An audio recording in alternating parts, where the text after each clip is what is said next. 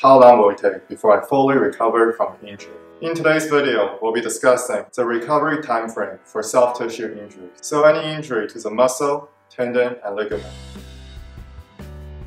In the first 10 hours after injury, we will see increased bleeding. This is due to damage of our blood vessels. In the case of a muscle-related injury, we will see even more bleeding, as the muscles are much more vascularized and consist of increased blood vessels. The inflammatory stage lasts for 3 days after injury. Some of the common symptoms of inflammation include pain, swelling, redness, and increased temperature around the site of injury.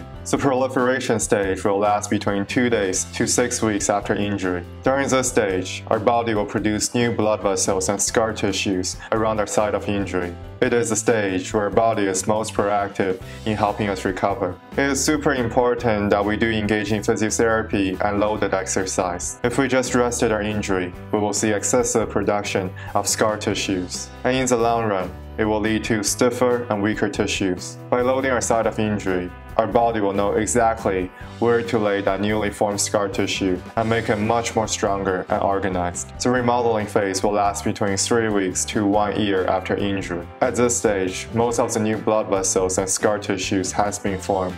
The goal is to continue your prescribed exercise, which will make your muscles stronger and reduce the risk of re-injury.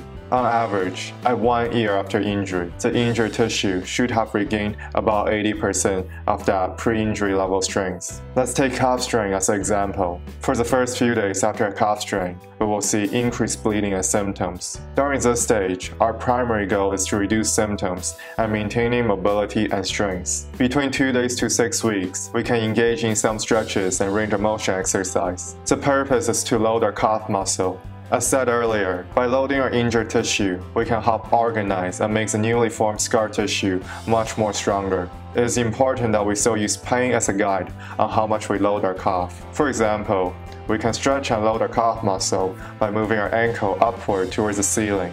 Let's say that we get pain when our ankle reaches 90 degrees. What we can do is limit the ankle movement just short of pain. During the remodeling phase, our goal is to engage in more intensive exercise. The purpose is to get the calf muscle stronger. For example, your physiotherapist may prescribe you with a single leg calf raise. This not only increases your muscle strength, but also challenges your balance. And these are key factors which will help you reduce your risk of having another calf strain. If you find today's video to be helpful, don't forget to subscribe.